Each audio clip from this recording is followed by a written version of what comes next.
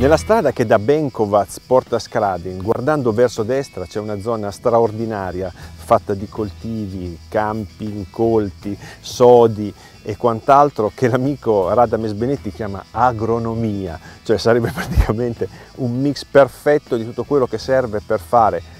la caccia a cui noi italiani e buona parte dei cacciatori mediterranei sono più appassionati, cioè la caccia mista con i cani da ferma, soprattutto quella che si fa agli estatini e i primi animali che si riescono a cacciare dove si può, quindi parliamo di quaglie e qualche fagiano. È stato qui che con eh, gli amici Fabio Antolini che oramai conoscete tutti e Mauro Taddei passiamo tanto tanto tempo qua